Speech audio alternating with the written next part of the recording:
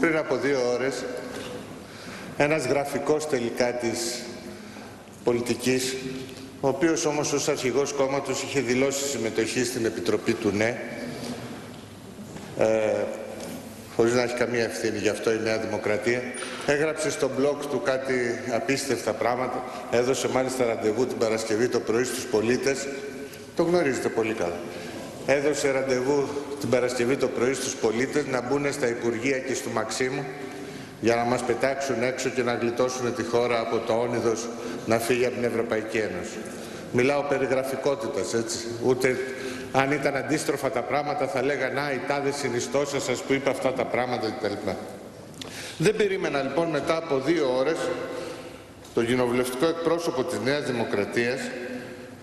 πέραν ενός ρόλου που ενδεχομένως και θα ήταν καλοδεχούμενος να βοηθήσει στις δύσκολες ταχύτατες διαπραγματεύσεις που γίνονται αυτές τις μέρες να πάρει το ρόλο ενός πολιτικού τιμητή, πολιτικού απολογητή, πολιτικού εισαγγελέα σε μια τόσο κρίσιμη στιγμή. Θέλω να είμαι πάρα πολύ ευθύς. Προφανώς δεν ακούσατε την ομιλία του Πρωθυπουργού στο Στρασβούργο, διότι εκτός αν ακούσατε μόνο αυτούς που του απαντήσανε.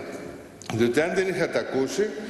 θα βλέπατε ότι με πάρα πολύ μεγάλη ευθύτητα εκ μέρους όλων των Ελλήνων έθεσε τα βασικά ζητήματα που έχουν σχέση με το τι έχει υποστεί η χώρα μας μετά από πέντε χρόνια αποτυχημένων παρεμβάσεων και θεραπείων και το πώς υπάρχει ένα μέτωπο απέναντι ακριβώς στη λιτότητα, στην ανθρωπιστική καταστροφή, στο να μην συνεχιστεί αυτή η κοινωνική ε, απαξίωση που υπάρχει στη χώρα και άρα η αναζήτηση και δια της ε, κοινής δήλωσης της ε, προχθεσινής μιας έντιμης και κοινωνικά και οικονομικά βιώσιμης συμφωνίας. Γύρω από αυτό το μοτίβο ήταν η ομιλία του κυρίου Πρωθυπουργού, η οποία βεβαίως απέναντί της βρήκε ε, απίστευτες κατηγορίες, από τις οποίες επίσης δεν πήρατε καμία απόσταση. Μας λέγατε εδώ για την κυρία Λεπέν και τα λοιπά, που δεν αφορά ε, εμάς αυτό το ζήτημα. Εσάς όμως σας αφορά το ότι ανήκετε στο Λαϊκό Κόμμα, στο Λαϊκό Ευρωπαϊκό Κόμμα, όπου η ομιλία του κυρίου ε, Βέμπερ, αν δεν κάνω λάθος, ήταν μνημείο ε, υποκρισίας, ε, πολιτικής αθλειότητας προς τη χώρα μας και προς όσα είπε ο Πρωθυπουργός, ενδεχομένως, δεν τα έχετε πιέσει σε αυτά εδώ στη Βουλή, αλλά ενδεχομένως ε, σας εκφράζουν ή δεν πήρατε καμία πρόνοια να πάρετε αποστάσεις από αυτά που υπόθηκαν. Επίσης, μέσα σε 12 λεπτά δεν είπατε ούτε προσχηματικά τίποτα για το ότι αυτή τη στιγμή χρειάζεται να υποχωρήσουν οι ακραίες, ακρότατες φωνές μέσα στην Ευρωπαϊκή Ένωση που έθεσαν τελεσίγραφο και μάλιστα με ώρα, 8.30 ώρα το πρωί, κάποια μέρα κτλ προς την ελληνική κυβέρνηση και προς τον ελληνικό λαό κύριε Γεωργιά. Θα περίμενα τουλάχιστον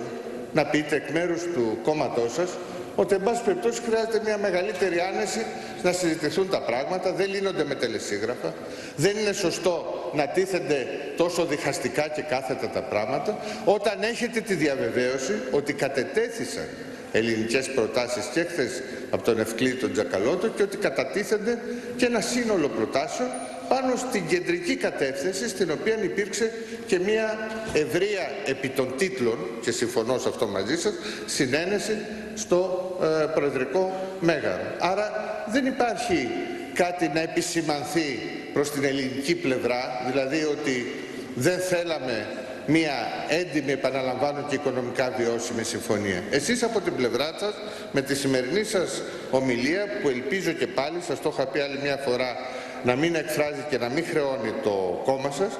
υπονομεύεται ευθέως τις δυνατότητες που υπάρχουν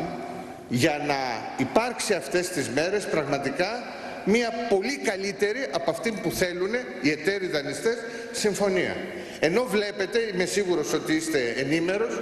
ότι σε όλη την Ευρώπη και πέραν της Ευρώπης, στα μεγαλύτερα μέσα, αυτή τη στιγμή γίνεται μια πάρα πολύ σημαντική συζήτηση για το ποιος και πώς έθεσε ποια ζητήματα,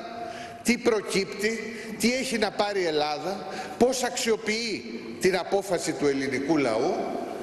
τι συμβαίνει αυτή τη στιγμή σε χρηματιστήρια και στις οικονομίες μέγιστων χωρών, αντιλαμβάνεστε τι λέω, παγκοσμίως και όχι λόγω του ελληνικού προβλήματος, αλλά λόγω της γενικότερης κρίσης μέσα στον παγκοσμιοποιημένο καπιταλισμό, θέματα δηλαδή τα οποία δημιουργούν ένα περιβάλλον για αξιοποίηση από την πλευρά της χώρας ώστε να υπάρξει η καλύτερη δυνατή και οικονομικά βιώσιμη κυρίως συμφωνία δεν σας, εννο... δεν σας απασχολούν καθόλου. Δεν σας απασχολούν, σας επαναλαμβάνω ούτε καν με την έννοια της υποκρατικής σύμπραξης, συμπαράταξης, σπροξήματος προς αυτούς οι οποίοι θέτουν αυτά τα ζητήματα. Δεν περίμενα λοιπόν, και σας το λέω ευθέως και με αυτό κλείνω, κάτι καλύτερο δυστυχώς εκ μέρους σας όταν εκτός από όλα αυτά που ξεχάσατε δηλαδή από το τι είπε το κόμμα σας στην Ευρωβουλή το τι γίνεται παγκοσμίως, το τι περιθώρια υπάρχουν το τι... ξεχάσατε και μία λεπτομέρεια. Το 61% του ελληνικού λαού και της απόφασης του πριν από τρεις μέρες. Ε, αυτό πια Κύριε Γεωργιάδη,